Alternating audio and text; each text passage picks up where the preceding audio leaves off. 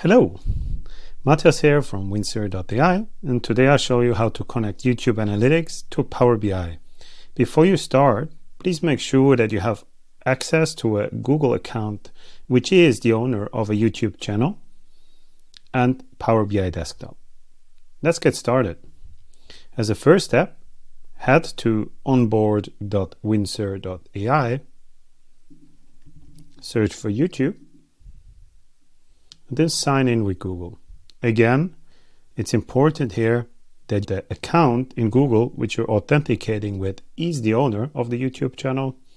If this is the case and you successfully authenticate, when you come back to this screen here, you will see accounts in the drop down here. I'm going to show some data from our own Windsor YouTube channel. So that's the only channel I add for the demo today. Then I go into the preview and now in here I select YouTube. You can see I have a few other connectors added. I want to get YouTube data. I select the video report and now we will get the videos in the preview here.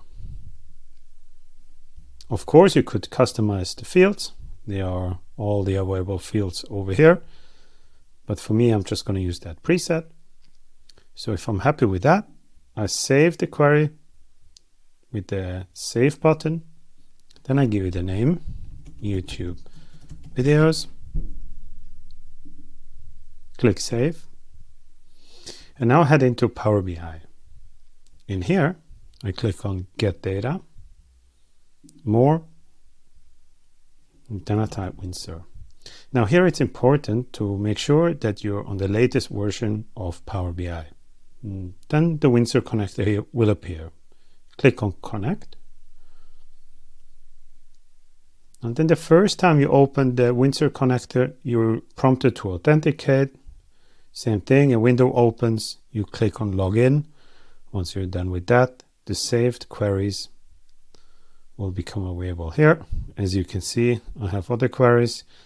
For now, I want to get the YouTube videos imported.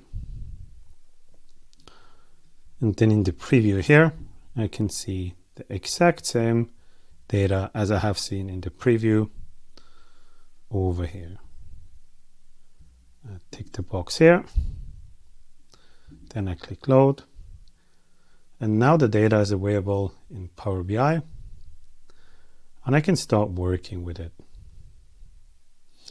Now as a next step, I could get, for example, channel data in, save the query again once the data is here and repeat the process.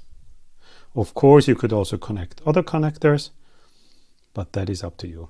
Now you have all your YouTube data available in Power BI.